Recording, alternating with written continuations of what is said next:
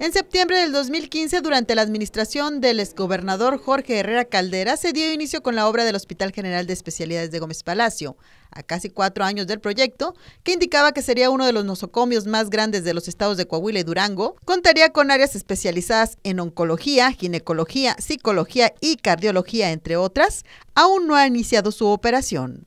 La puesta en operación pues definitivamente corresponde ya a la Secretaría de Salud y ha habido pláticas ya este, con la Secretaría de Salud a nivel central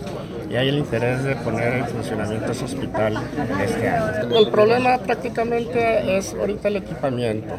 o sea, la, obra está terminada, eh, el equipamiento es lo que está deteniendo para el equipamiento de este hospital se deberán aplicar 600 millones de pesos, ya que se requiere de un acelerador lineal para el tratamiento de cáncer, cuyo costo asciende a 200 millones. Pero indicó que los recursos están detenidos por parte del gobierno federal ante el reclamo de 73 millones de pesos por obras adicionales en la infraestructura hospitalaria que realizó la empresa promotora y desarrolladora mexicana responsable de la construcción.